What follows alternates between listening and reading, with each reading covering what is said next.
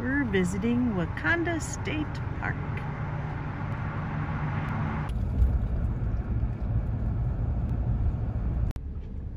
Looks like there's lakes, a swimming beach, trails, picnic area, and a campground. We have a map, so we're orienting ourselves. We've come in here and we can go to the left and this is the Boulder Lake and Granite Lakes. So this is the Boulder campground. Or we can go to the right and go all the way down here to this campground. Um, or when we go to the right, it looks like we can cut through Agate Lake Road. And all of the colored things are trails, so we've got to read the trail list. There's a Sand Prairie Trail with a overlook. But this one looks like a really long one, this red one. There's one up here, Jasper Lake Trail. So we're gonna read about trails. Well, that's an easy list for the trails. And um, since we are short on time, we want to either check out the 0.4 mile trail or the 1 mile trail. Here's a 0.3 mile trail. The others are a bit too long for us. It even gives it a rating. Boulder Lake Campground. it's beautiful down in here. Look at all the campsites right on the lake. I would like that. Very nice shower house and laundry right next to all the camping sites.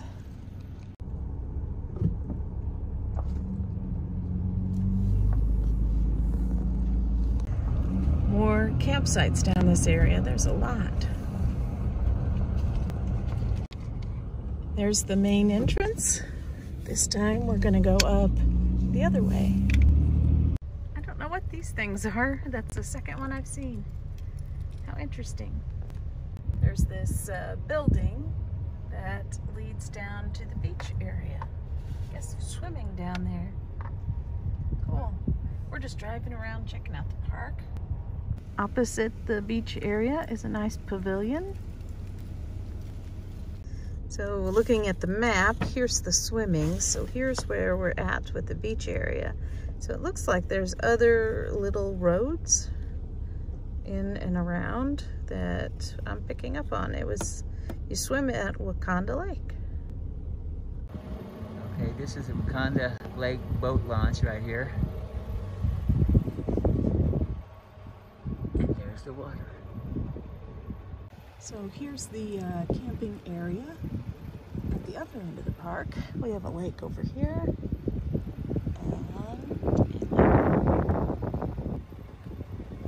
Okay, here's, these are some of the nice camping spots on Wakonda Lake.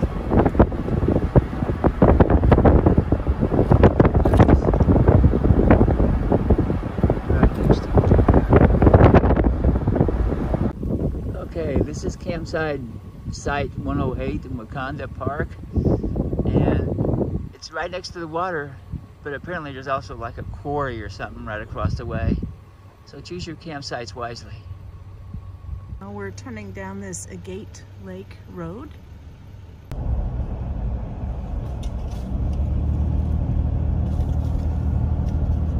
Come to a large parking lot and a body of water. This is confusing, but we're gonna have to get out and look around. So we came down this road and we're here. Trailhead, there's one here, one here, one here, and one here. I'm assuming this one goes across there where we wanna go. So we gotta go out and try to figure out which trailhead is where. Agate Laker. 167 acres. Kayaks would be fun. Right here's some signs. So you have, I guess, three starting from here. The Quartz Lake Trail, 0.3 miles, blazed in orange. Sand Prairie Trail, which is what we wanted to take, one mile in green. And the long one is in blue. So I guess they all start here. Although there is something across the parking lot over there. It's a little confusing. Bathrooms.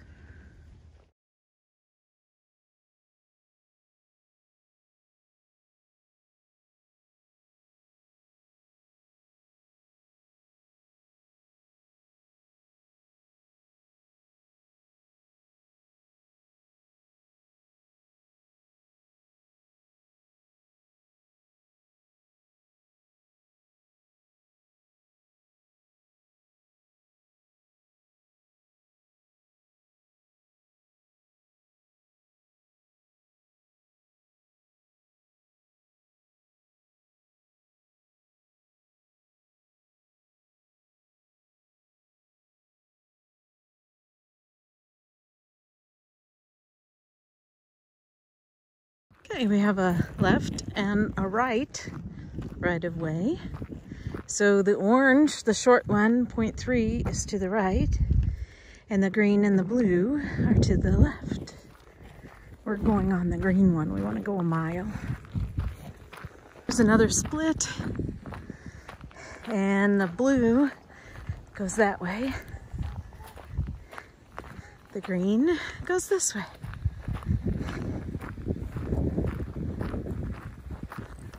That road seems to go on and on and on. We're hoping it's not a mile there and a mile back. But over here is a shot of the water. Seeing the lake way over there in the distance and lots of waterfowl and uh, geese. Getting closer to the end. Looks like a bench so we've gone about four tenths of a mile. Of course, a little bit of that was walking across the parking lot. And we have a split. It says green both ways.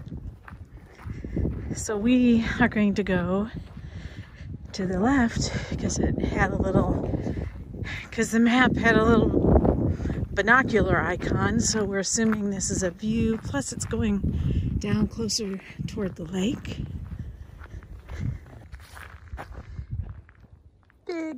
Beautiful blue sky.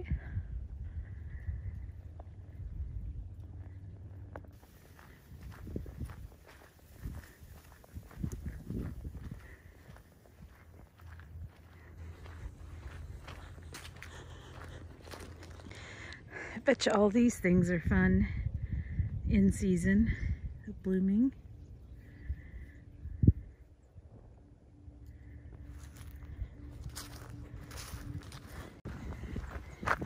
Between two lakes. There's an island out there watching all the birds. There's been some birds in the foliage beside the road too. And the road ahead we see the end. The water over there.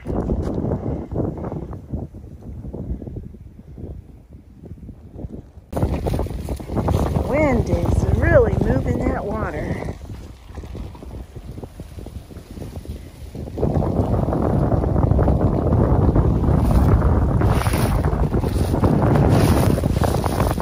So we've gone seven tenths of a mile and that included some walking around at the parking lot before I started.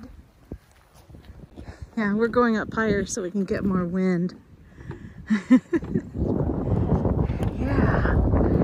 And look, I got me a fall leaf.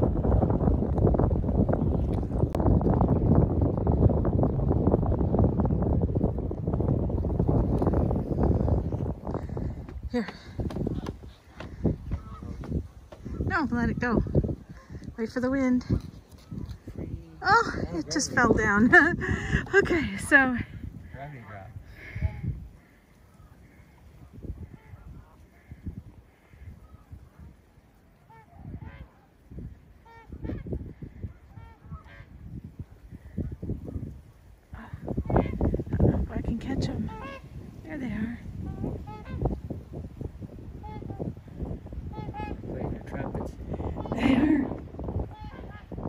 little bench you can sit at. Just don't fall asleep in Temple Forward. With a good camera lens, you could reach all those lined up. Look at them all lined up on the top of the island. Oh my gosh, how funny. Too bad we can't stay longer because it's so cold and we have to keep moving. It's right at freezing, I think. Right at 32 degrees. Isn't that a cool shot? Can you find your vehicle? There's a, the parking area. So we are talking about our experience at Wakonda State Park and we really like it. It's really a nice place. We're gonna come back and actually camp. We're just kind of driving through today on our way home from visiting. And uh, but this is like four hours from our home and Current River is like three.